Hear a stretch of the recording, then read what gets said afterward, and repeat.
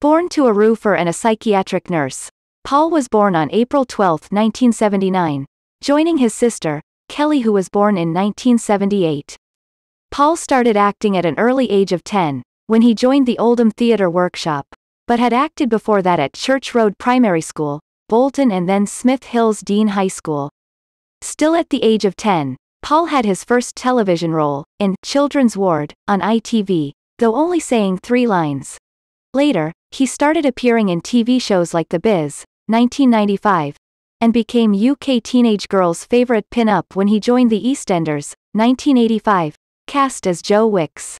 Twelve record companies have reportedly offered Paul the opportunity to record a single but they have all been turned down. Paul has publicly stated that he will never record a single, adding that his cat, Gizmo, is better at singing than him.